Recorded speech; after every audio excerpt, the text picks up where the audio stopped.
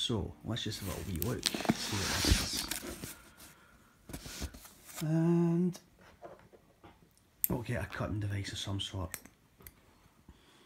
In this case, nail clippers.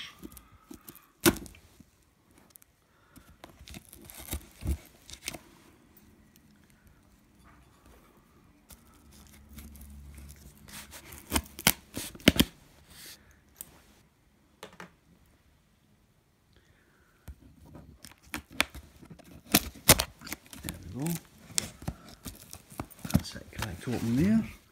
And let's do the same here.